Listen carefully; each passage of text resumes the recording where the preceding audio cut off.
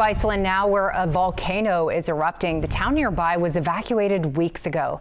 They knew this was coming, but new video tonight is showing that intense lava activity.